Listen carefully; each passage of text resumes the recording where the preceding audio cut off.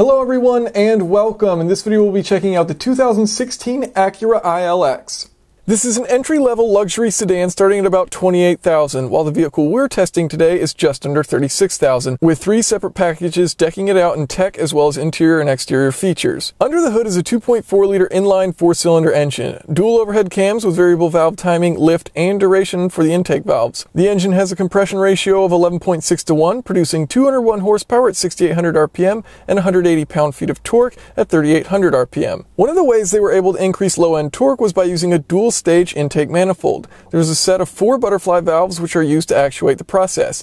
At low RPM, the air travels through a set of long runners, improving low end torque. At higher RPM, the system switches over to a short set of intake runners for increased high-end power. This works in combination with the VTEC system, where at engine speeds above 4900 RPM, the intake system shifts to a high lift, long duration cam profile for more top end power. Engine torque is sent through an 8 speed dual clutch transmission to the front wheels. As far as the interior, there's plenty of space in here for me as the driver. I'm about 6'1 and I've got plenty of space for my legs. I don't come into contact with anything. You've got these cloth seats with leather bolsters. They're pretty comfortable. They've got a nice amount of cushion to them. As far as the steering wheel, you've got all kinds of control on that for your Bluetooth, your audio, and your adaptive cruise control system. You also have these two screens here as far as the navigation, infotainment, climate control, control. You do have dual zone climate control down here as well as heated seats for the front driver and passenger. And so overall up in the front, I don't really have any complaints. As far as visibility, looking out the front, it's somewhat narrow, uh, but not too bad. Looking to the sides is fine. Checking your blind spots fine.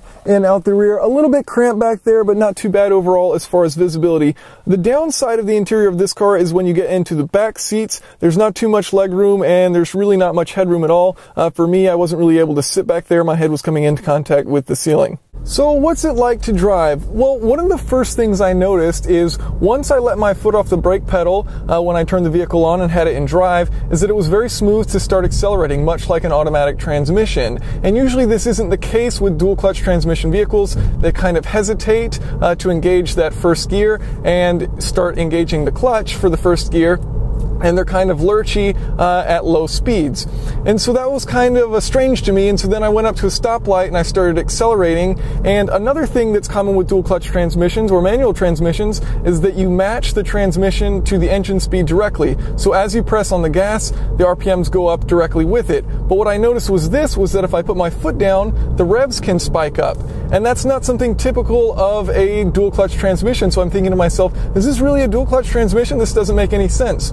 Well, Acura is more clever than I am, and so what they've done is they've fitted a torque converter to the dual clutch transmission. So you can have a difference in speed between the engine and transmission by using a torque converter in between. And so what that allows you to do is you can have a very smooth engagement in low speeds. So you don't have to use slip in the clutch pack, which is typically a rough process. It can have additional wear uh, and it's not going to be all that smooth. And so you can have that slip in the torque converter and have that clutch pack fully engaged and so it's much smoother.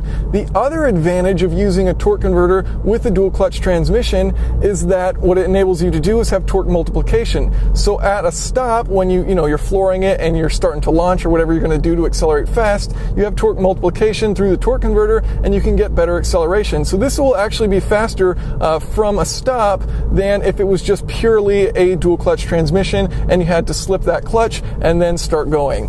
So that's pretty clever too, uh, what they've done with that and it all seems to work out pretty well and a very smooth experience and at the same time, you get the benefit of the dual clutch transmission with, of course, the very quick shifts. So quicker shifting than an automatic transmission, but just as smooth and also good at launching. Now, as far as the ride itself, it's pretty comfortable in here, pretty quiet as well. You know, some there are certainly luxury vehicles which are quieter, but you have to keep in mind this car is starting at $28,000. Uh, so overall, the interior is pretty quiet and the ride itself is pretty smooth.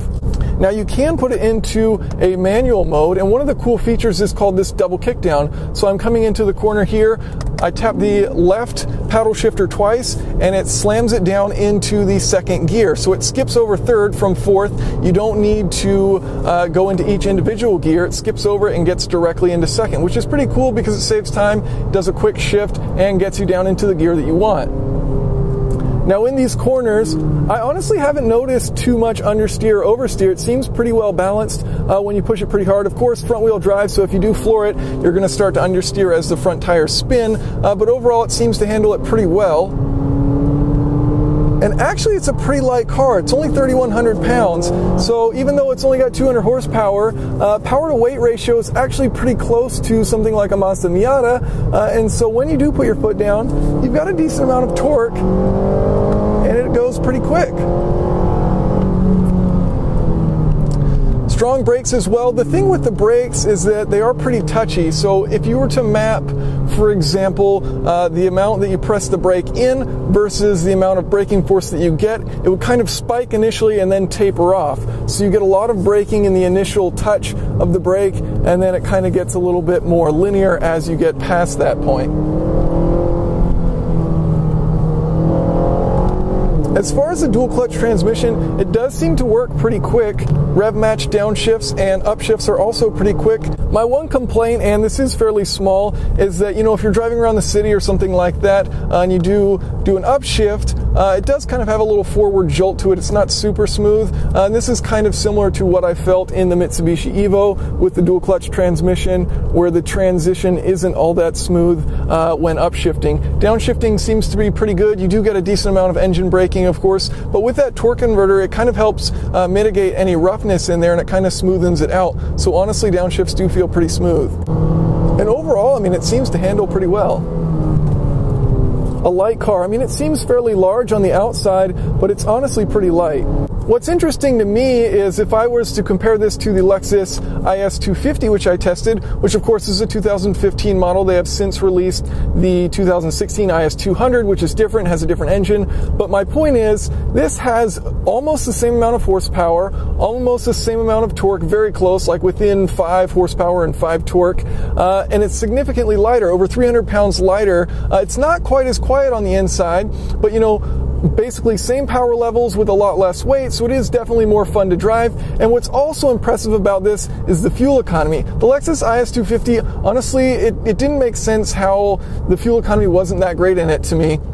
This is rated 25 in the city, 36 on the highway. It's rated 5 miles per gallon combined better than the Lexus IS250. Uh, this, of course, is front wheel drive and the Lexus is rear wheel drive, but regardless, uh, the fuel economy that you can get out of this is pretty astounding. And considering, you know, the Lexus didn't really have any more power, uh, it wasn't necessarily quicker, uh, it's kind of unfortunate uh, that it didn't even get good fuel economy. So, you know, at least this excels in fuel economy and it's somewhat decently quick because it is lightweight. Now, the Lexus IS200 uh, comes with a different engine, different power levels, uh, different experience altogether. But remember, you know that car's starting at around 37,000 versus this is starting at 28,000, so it's not exactly a fair comparison. Okay, so we'll get a quick 0 to 60 in. I've got the traction control off.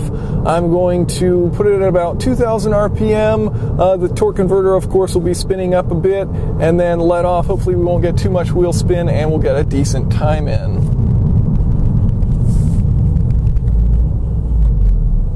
I'm just going to leave it in sport mode, let it do the shifting. So we do have some wheel spin there. And 60. Seem to be decently quick. So driving on the highway, I've got the adaptive cruise control set at 65. It'll do all the adjustments for me if we get into traffic. And you know, uh, not too much noise in here, a little bit of tire noise, a little bit of wind noise, not too bad overall, looking at about 76, 77 decibels. Um, better than some of the cars I've tested, but worse than some of the luxury vehicles I've tested. Two other things worth mentioning. The adaptive cruise control system, uh, when you are in traffic like we are here, it, it can kind of overreact in certain situations. So if someone merges into your lane, it tends to brake pretty aggressively uh, in order to set the gap. Versus some systems I've been in, you know, they kind of check the speed, and if the speed of the car in front of you isn't that much different, even though they're pretty close, it'll slowly back off versus being really aggressive about it. Not a huge complaint. I mean, it's going to do the trick. It's just going to kind of brake a little bit more aggressively than you probably would on the highway. The other thing I wanted to mention was that the sound system in this is actually really good. And although I do have a few rattles uh, which, you know, for an entry level luxury sedan, I guess I wouldn't want to have that. There's a few rattles in the back when the sound system's going off, but the sound system overall is very good, very good job of balancing uh, deep notes as well as the higher frequencies together. Uh, so you get a very crisp sound system, sounds excellent. The one complaint, of course, just being that you do get some rattles in the back uh, when I've had the sound system up pretty high. Now, as far as steering feel, it is pretty light and there's not a whole lot of feedback, but I'd certainly put it on par with the other luxury vehicles I've tested. Um, basically, what happens here is you start to sacrifice steering feedback uh, and replace that with comfort, and it certainly does that. It's definitely a comfortable experience. Another thing is the body roll itself. You know, coming into a corner hard, you do get a decent amount of body roll as you change the steering angle. Um, once again, kind of typical with luxury vehicles because you have a softer suspension typically where you know you absorb bumps pretty well and overall the ride experience is very comfortable versus sporty. That said you know this is actually a pretty fun car to drive for being in this segment. Um, power levels aren't all that excessive but as i mentioned it's a really light car. The dual clutch is fun to drive. And so in these twisties i mean you put your foot down it's pretty fun going around these corners. So thank you guys for watching. If you have any questions or comments feel free to leave them below Boom.